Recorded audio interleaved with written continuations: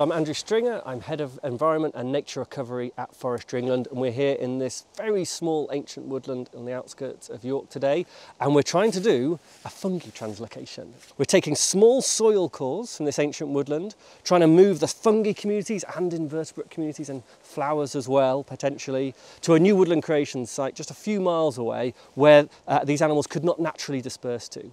And the aim of the project is to try and create not just trees on that new woodland creation site, but a whole woodland ecosystem, really valuable for biodiversity as well as resilience for future pressures like climate change. Today is very small scale, very low risk. But over half of the nation's forests managed by Forestry England are what we call secondary woodlands. It means they've been planted in the last hundred years.